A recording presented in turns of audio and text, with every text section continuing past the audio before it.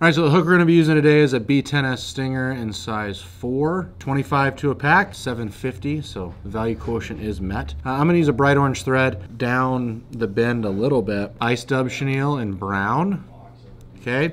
I'm gonna tie this in. Now I'm gonna wrap uh, the body around. Now I'm gonna tie this off.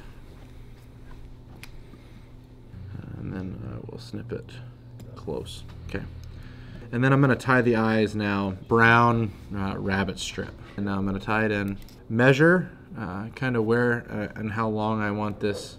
I'm gonna pierce the hook through the hide. Right, and you can see how that ice dub chenille keeps this bunny strip from going any further than it. Single strand Rio saltwater hard mono. Tie that little flattened tag end right in front of the eyes here, wrap back, you're ready to go fishing.